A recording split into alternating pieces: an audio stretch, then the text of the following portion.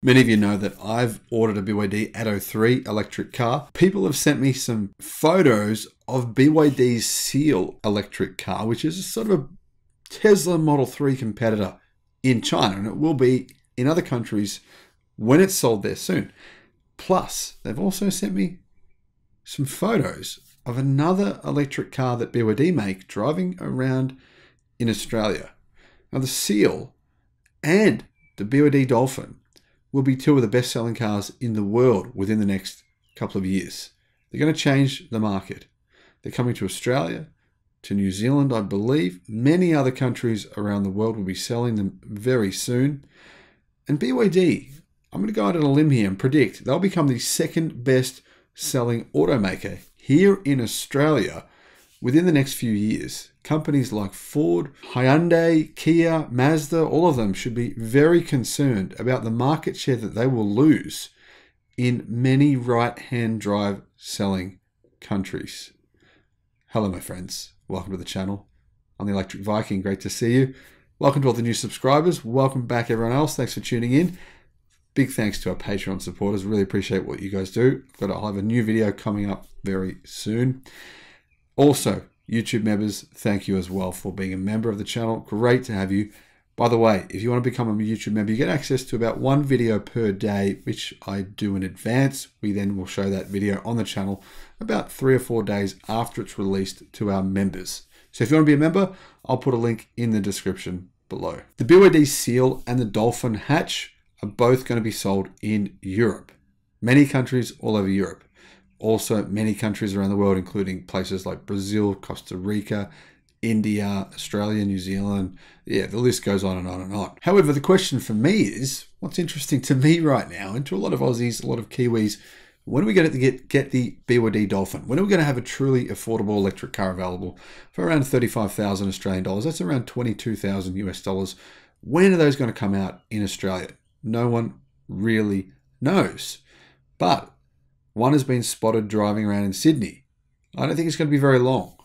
The upcoming 2023 BYD Dolphin Electric Hatch has been confirmed for Australia and has been spied in Sydney. Now, Luke Todd, managing director of BYD's Australian distributor EV Direct, has confirmed that pre orders will begin before the end of this year. So they've got a month, or just over that, five weeks to start pre orders for the Dolphin. So, what is the Dolphin? The Dolphin, the BYD Dolphin, is similarly sized to a small Toyota Yaris, but the interior of the car is actually bigger than the interior of a Toyota Corolla. That's one of the reasons I love it. Small bonnet, very, very, very big interior based on the actual external dimensions of the car. It's brilliant. Now, Wheels magazine claim it's going to come at a price point of $30,000. That would make it around 20,000 US dollars. That would be an amazing bargain if that were the case. I don't think it will. I think it'll be priced closer to 35,000 Australian dollars for the cheapest variant, but it could be cheaper. I don't know. Now, the thing is, BYD have confirmed that pre orders for both the Seal and the Dolphin will be available by the end of this year. So you should be able to order a Tesla Model 3 competitor for probably a bit less than a Model 3. I'd say maybe 20% less, but potentially within five weeks. Within five weeks. And you should be able to order a direct competitor for the Toyota Corolla, which is electric and a much better car from the reviews that I've seen and the review I did on that car. I'll put a link in the description below to the review that I did on that very soon. So really, this is a big disruption. You're talking about the Atto 3. This, the Atto 3 is going to be one of the best-selling cars in Australia next year. I'm pretty confident of that as long as the BYD distributor in Australia gets their gets their things organized, gets themselves. I mean, I haven't got my car yet. Put it that way, and I've paid for that. Paid for it. What? Five weeks ago. I haven't heard anything since. I don't even know if they've got the money. So yeah, that's that's why the customer service side there big improvements need to be made. There's no question about that. I think even the BYD fans now, I've been saying this for a long time. I was crucified on their social media pages. They just tore me to shreds because they were very emotionally, very emotionally attached to their cars. And I understand that. But I think a lot of them now have kind of come along and said, you know what, fair enough, Electric Viking. We kind of see where you're coming from now. I think you were right. Fair point. Um, I mean, yeah, fair point here is I paid for my car transferred the money, paid a bit. I actually paid extra. I paid thirty dollars extra to make sure the transfer went through within a few hours. I called them a week later. They said they didn't have the money, and I haven't heard from them since. That was five weeks ago. That's the kind of customer service that I'm saying needs to be improved. New Zealand's customer service, from all reports I've heard, is very good. In fact, they even contacted me today, sent me a message saying, contact us for anything. We'll help you with any information you need. So thank you, New Zealand. Haven't heard anything from Australia. Don't know. Anyhow, the point here is BYD are manufacturing electric cars at an insane pace. They plan to make 3.5 million of them next year, and they're planning to sell a lot of those in right hand drive markets. What does that mean? There's not a lot of choice. I mean, what choice is there when it comes to electric cars? In Australia, there's not, there's really only Hyundai, which make a small number of cars. There's Tesla, which are obviously more expensive than a BYD, and there's no one else. There's no one else making compelling EVs at an affordable price. BYD is the only one really doing it. Of course, MG are doing it, and MG are going to bring out the MG4, so that would be a competitor to this vehicle. But will they make a lot of them for Australia?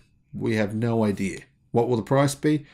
I'm going to guess it'll be a similar price. It's a very similar car to the Dolphin, so probably a similar price. There's not going to be a lot of choice. It's going to be MG, BYD, and Tesla really mass manufacturing cars for the Australian market. I don't think there's a lot of other competition there. I know there's other niche vehicles there here and there, but not a lot.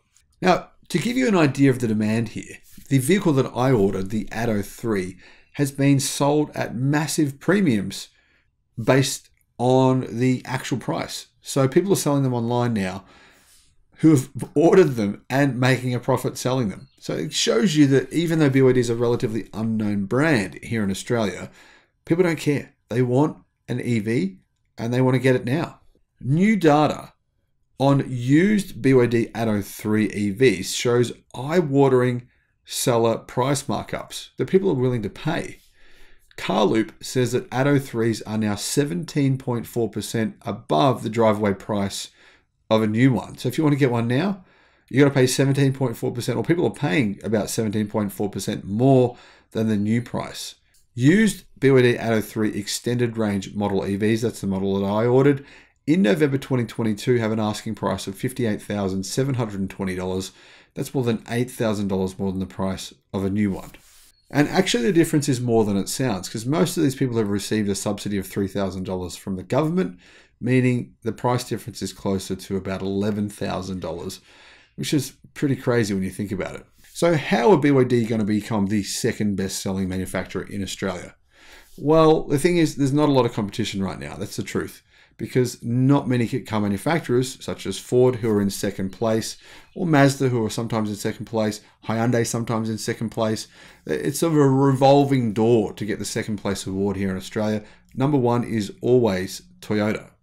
People here in Australia seem to love Toyota for some reason, even though they're in court all the time with class action lawsuits for faulty products, having diesel powered engines that seem to have numerous problems. People just keep on buying them. I don't know what's wrong with them. IQ levels seem to be challenged here. That's my honest opinion. If you buy a new Toyota, they never they never ever win reviews. I mean, when there's ever review tests of them from the major motoring organizations, even though Toyota pays these companies massive amounts in marketing, they ne- basically never win these reviews. So there's, there's more compelling pro- products available, and people just love Toyotas for some reason. I don't know why. So it's going to be very hard for BYD to take first place from Toyota for a few years. In a few years, I think it's going to change. But for the next few years, BYD will be battling the second place, which is obviously Ford, Hyundai, Kia, and also sometimes Mazda, like I said. But it will be relatively easy for them to take that place. If you're thinking about it, 3.5 million EVs per year, they don't need to send that many cars to Australia. They only need to sell about 100,000 cars per year, right? Meaning less than, well less than 10,000 per month in order to take second place from Mazda, who was second last year. They had 101,000 sales in the country last year, and Hyundai were well back in third place with 72,000 vehicles. Toyota's way ahead with 223,000. They're not going to catch them for a few years at least, but it'll be relatively easy to sell 10,000 electric cars in Australia every month. People want them. BYD is pricing them at affordable prices, even with the crazy distributors here. I still think people will buy them. I still think Your neighbor will get one. You'll look at it, You'll look at the price, you'll realize it's a good product, it's extremely compelling, and you'll buy it. Now, to get to get the second place award in Australia, BYD actually only have to sell 8,500 cars per month, or around 2,000 cars per week.